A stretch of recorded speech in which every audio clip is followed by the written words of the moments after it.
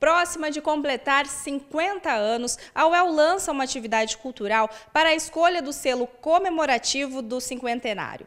As inscrições foram abertas nesta quinta-feira, 1 de julho, e seguem até o dia 2 de agosto. O selo escolhido será utilizado em todos os materiais institucionais da universidade. Em entrevista à TV UEL, Camila Dolbeck, diretora da gráfica da universidade, explicou como funcionará a atividade. É, essa atividade é aberta a toda a comunidade interna e externa à universidade, o Brasil todo, o mundo todo, na verdade, quem quiser participar.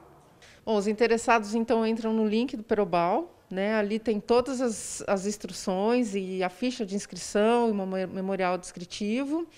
E aí é, o candidato o candidato vai mandar por e-mail, tá, para o comunica@uel.br, tanto as propostas quanto a ficha de inscrição e o memorial.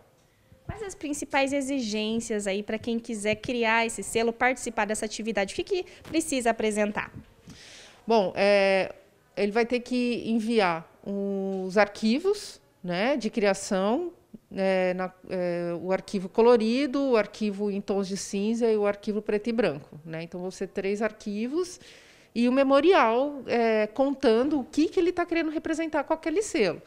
Né? No, no edital né, dessa atividade, a gente coloca é, o que, que ele tem que representar. Ele tem que representar esses 50 anos da universidade e também a missão da universidade que está lá. Né? Então, ele precisa captar a essência da UEL né, nesses 50 anos e traduzir em forma de selo. Camila, e por que, que a, a, universidade decidiu realizar esse concurso? Qual a importância de ter aí, né, fazendo parte das comemorações dos 50 anos, essa atividade?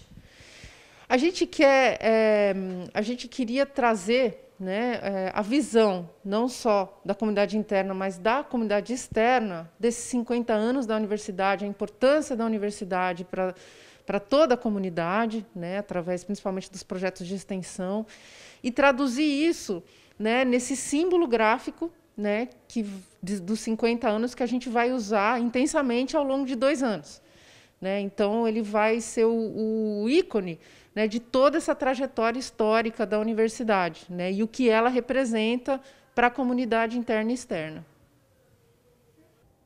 O resultado final será divulgado no dia 12 de agosto e a premiação do vencedor acontece no dia 7 de outubro, data do aniversário da UEL.